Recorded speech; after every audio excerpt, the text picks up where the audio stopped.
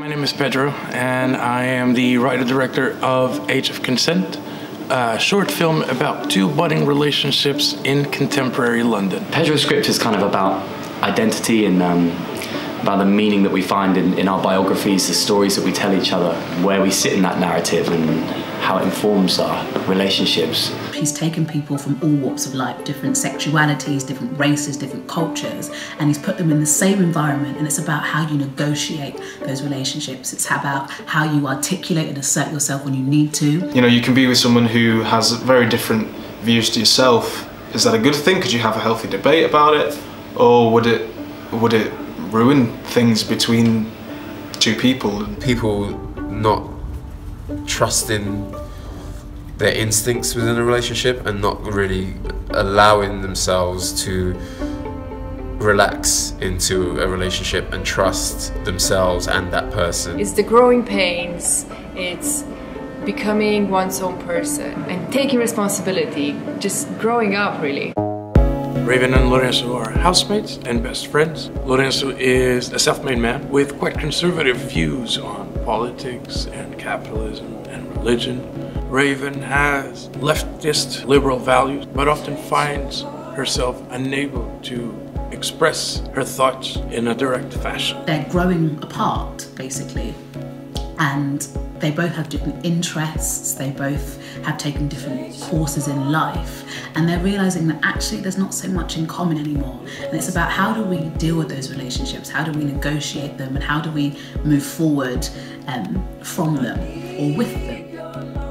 He's a film journalist. He's very passionate about the medium of film and the way film can communicate certain things socially, um, emotionally, so how it can connect people. She has um, a very vivid imagination and she sort of invents scenarios that she wished would have been the actual case. Because she's still finding herself in, in some ways and Theo kind of knows who he is they they can kind of butt heads a little bit. She does that classic thing of when someone new comes into your life, what do you impose onto them? And also what does she impose onto herself?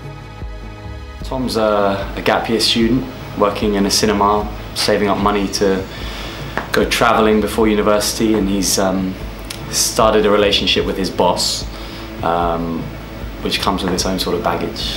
Lourenço is a pretty complex character. He's, you know, had to rely on nobody but himself that can make you pretty guarded and uh, and and hardened but it all comes from a place of, of hurt but all of those preconceptions are, are, are challenged and I think um, Tom learns a lot about his own judgment of people and uh, some uh, prejudices that, that he might be holding on to um, which might be blocking him from, from finding what he wants.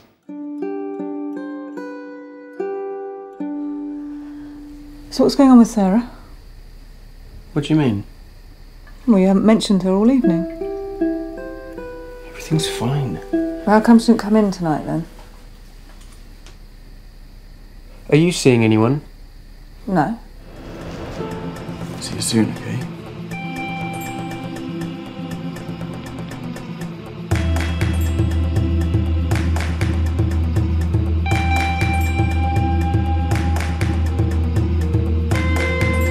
What I'm aiming to do this time round is to expand upon some of the themes I already approached in those films. While we may not necessarily provide the answers to the issues at hand, that perhaps starting a conversation and a bit of reflection over them can become a, quite a rewarding experience for the viewer. I come from a languages, literature, and overall storytelling background, as well as film festivals and all sorts of film events promoting independent cinema. In order to see this project come to life, we need your help, as it is very important for Pedro and myself to make sure that our team gets paid fairly for their time. You will find a series of rewards listed on this website, but we hope that ultimately you will join us in shedding light on these subject matters and starting at the base.